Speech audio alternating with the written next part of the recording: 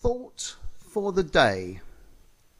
Today at Prasanthi Nilayam, 26th of February 2012.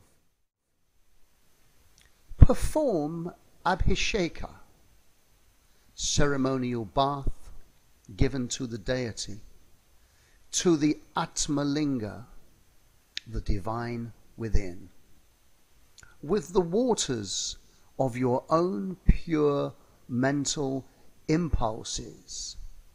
Chittavriti. What is the true yagna, ceremonial sacrifice?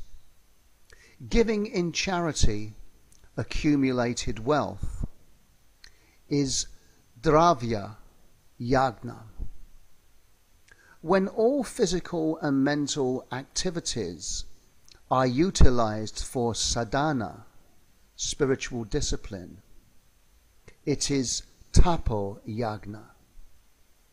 Doing karma, action, but yet remaining unbound by it, is yoga yagna.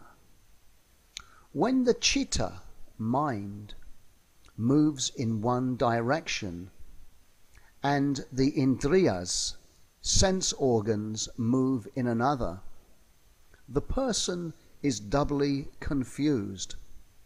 So keep attachment afar. When you accomplish this, every act of yours becomes a sacrifice, yagna.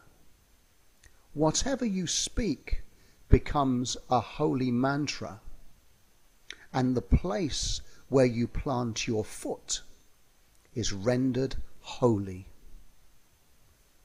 Baba.